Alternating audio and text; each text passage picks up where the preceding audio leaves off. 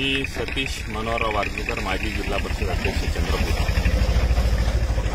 अस्मिता form house या ठिकाणी मी आज नागपूर मनसरजवळ या ठिकाणी भेट द्यायला आलो. इथे जवळपास लिंबू सीताफळ त्यासोबतच संत्रा आणि शेवग्याच्या शेंगा बांबू ऊसाचा बगीचा त्यासोबत धान हे सर्व फार्मिंग या ठिकाणी आम्ही बघितली. ऑर्गॅनिक शेती कशी करायची आणि ऑर्गॅनिक शेतीतून कमी पैशात शेती कशी करायची हे या ठिकाणी शिकायला मिळालं. जी शेती बिनउपयोगाची होती तिला ऑर्गॅनिक शेतीच्या ऑर्गॅनिक खतं तयार केली.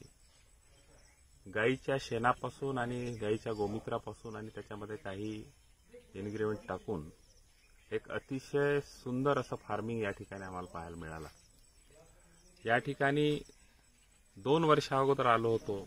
त्यावेळची परिस्थिती आणि दोन वर्षात ऑर्गॅनिक शेती केल्यानंतरची परिस्थिती पाहता ऑर्गॅनिक शेती किती करायला परवडते हे आम्हाला या ठिकाणी शिकायला मिळालं. अतिशय सुंदर असा प्रोजेक्ट आणि अतिशय सुंदर असं फार्मिंग आम्ही या ठिकाणी बघितलं. आणि शेतकऱ्यांनी शेती कशी करावी ते शिकण्यासारखं आहे. शेतकरी लोक युरिया डीएपी आणि नोआक्रांसारख्या औषधं मारून आपली शेती करतात. त्यामध्ये अनेक पैसे खर्च होतात आणि शेतीची पोत पण कमी होते. परंतु या ठिकाणी कचऱ्यापासून कोणत्या कचऱ्यापासून नायट्रोजन मिळतं आणि कोणत्या झाडापासून नायट्रोजन मिळतं हे सुद्धा या ठिकाणी शिकायला मिळालं. आणि शेतीला उपयोगी ज्या तीन वस्तू आहेत एक तर मालकाला फायदा व्हावा किंवा जनावराला फायदा व्हावा किंवा जमिनीला फायदा व्हावा अशीच झाडं या ठिकाणी ठेवायची अशा प्रकारचं या ठिकाणी आम्हाला शिकायला मिळालं.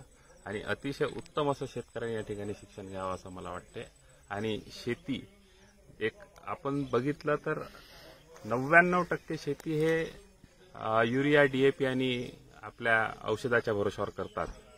परंतु या ठिकाणी बघितल्यानंतर आपण ते जरी करू शकत नाही असं काही शेतकऱ्यांना वाटते परंतु पाच एकर शेती असेल तरी मला असं वाटते की अर्धा एकर शेतीपासून त्यांनी सुरुवात करावी. स्वतः मालकाने जर अर्धा एकर शेतीपासून सुरुवात केली तर कदाचित त्याची पाचही एकर शेती दोन वर्षामध्ये ही ऑर्गॅनिक शेती तयार होईल अतिशय उत्तम असा त्याला फायदा होईल आणि आपली जमिनीची पोत पण चांगली राहील. धन्यवाद.